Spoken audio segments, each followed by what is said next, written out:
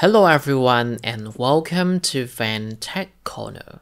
It has been a long time since my previous video with NanoPi R5S and in this video I'm going to upgrade the firmware to the latest release and after that we're going to check out the throughput of the R5S and let's see if the device can handle at least 2.35 gigabit per second throughput like what the R6S does.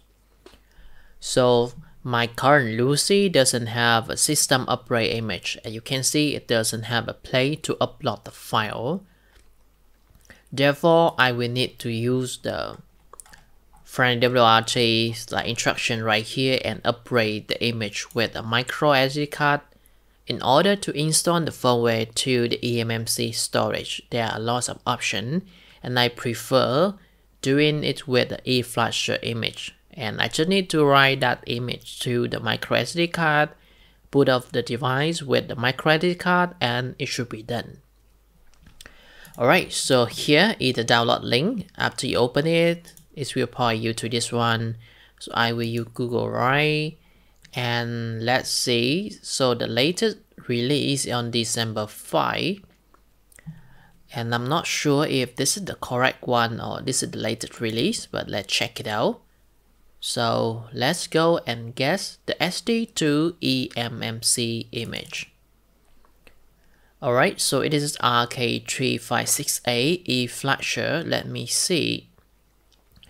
FriendlyWrt21, frame WRT22. Alright, so this is the image that I look for. So let's download it.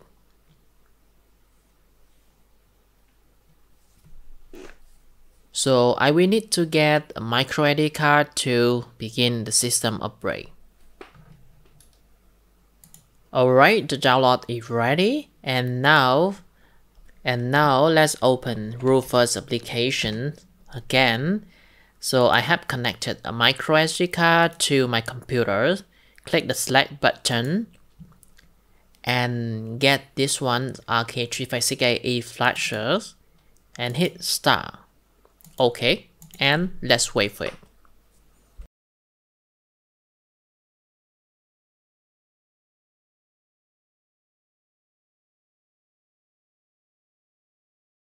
The file had been successfully written to the microSD card and now let's remove it from the computer. After that, I will turn off the NanoPi R5S and then insert the micro SD card to the R5S. And lastly, I just need to connect the power cable. So I don't need a monitor or anything because the system upgrade should be automatically.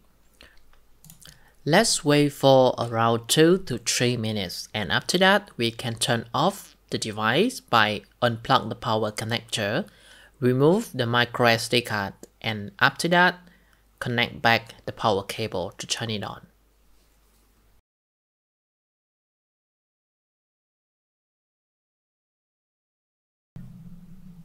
I believe everything should be ready by now, so let's turn off the NanoPi R5S by remove the power cable.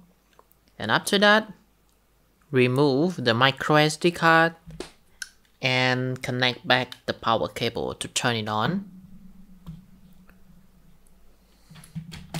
So we have the response and I believe that the R5S should be updated to the latest release. So let's go to the home page and we need to accept everything. Alright, so the default the default the default password has been changed to password. Okay, and here we are it is FriendlyWrt or OpenWRT22 running on the NanoPi R5S. In the default configuration, the WAN port is 1 gigabit. And what I want to do is that I'm going to remove maybe let me see let me go to the VLAN so we have Ethernet 1 and 2 now I will remove Ethernet 1 which is the 2.5 gigabit port from the bridge LAN and after that I'm going to change the WAN port of the router to Ethernet 1 to make sure that I have a 2.5 gigabit Ethernet port. I will do the same for this one IPv6. Alright, so Ethernet 1, save and then save and apply.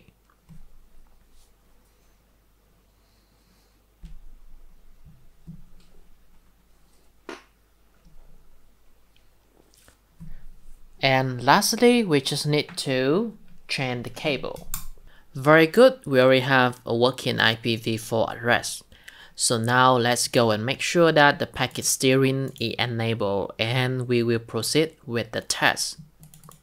So as usual, we will have NetEdge connection to the routers at 192.168.2.1 and then root and the password. Very good. So it will be top and htop.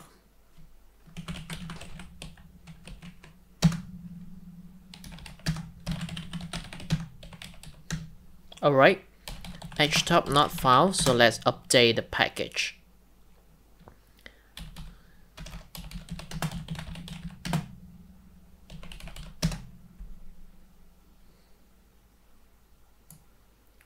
Alright, so htop.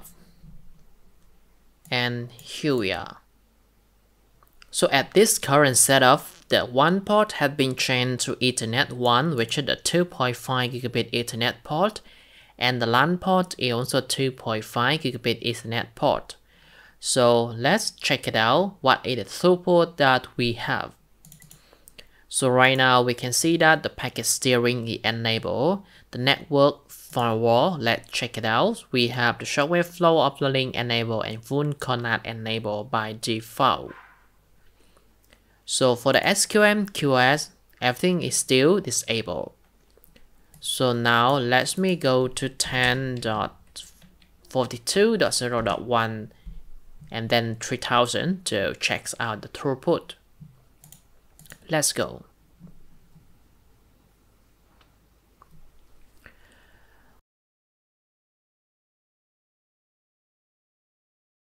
Very good, we are running two. Very good, we are having 2400 Mbps for download.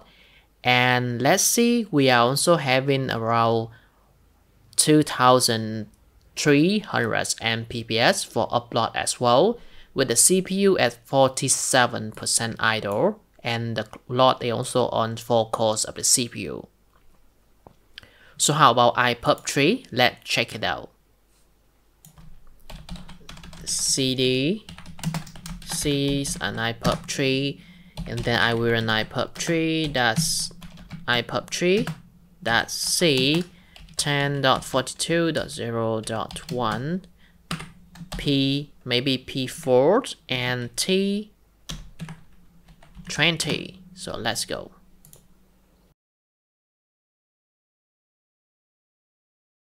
So with iPerf3, we are also having 2.26 gigabit per second, and right now we are having 4 stream. So the CPU is at 49% idle, and the lot is on 4 cores of the CPU. So let's run the test again, but this time I will change it to P16 and let's check it out and very good we are still having 2.37 gigabit per second throughput with the CPU at let me see 43% idle.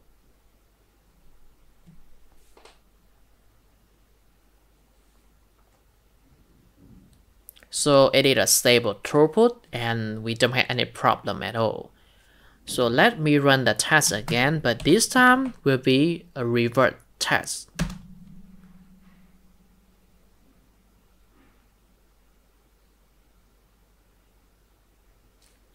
So this time we can see that the CPU consumption increased to around 65% and we have 35 or 36% CPU idle, but the NanoPi R5S managed to handle 3.37 gigabit per second.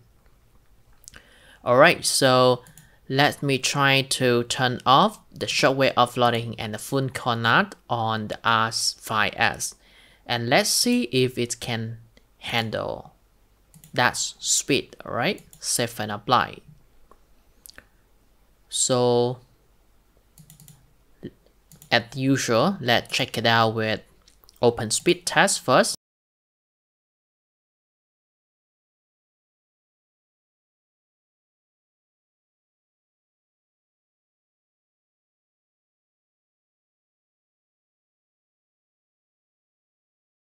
With the offloading and the full NAT disabled, the R5S can handle 1588 Mbps for download, and for upload it can handle up to 1860 Mbps.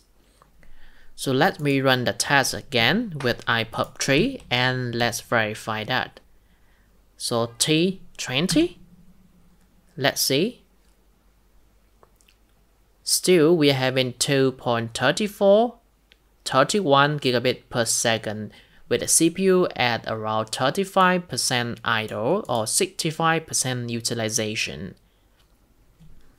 And after this one done, I will have a check with revert mode. Running the test in revert, I have 2.09 gigabit per second with no offloading at all. So we can see that the performance or the throughput of the NanoPi R5S has increased or has improved a lot compared to the previous videos. And just now we can see that the CPU utilization is really high. It's going up to around 85%. But the R5S managed to do 2.07 gigabit per second. Alright, so that's it a quick throughput test with the NanoPi R5S on December 27 with FriendlyWrt or OpenWRT 22.03. So it has been a huge improvement since the last test we done. So that will be all for this videos and I hope it will be useful for you. Thanks for watching and see you all in the next one. Bye bye.